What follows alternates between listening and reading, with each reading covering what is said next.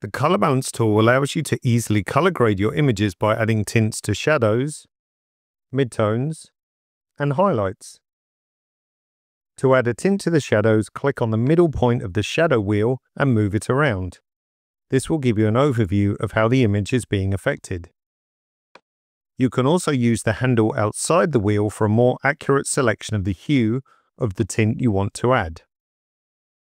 Now you can use the left side handle for a more accurate saturation control.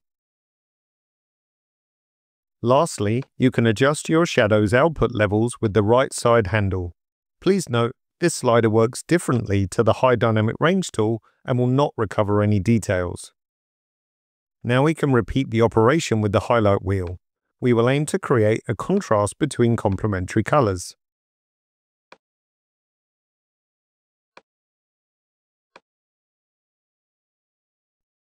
The master wheel operates in the same way, but it will have an effect on the overall look of the image.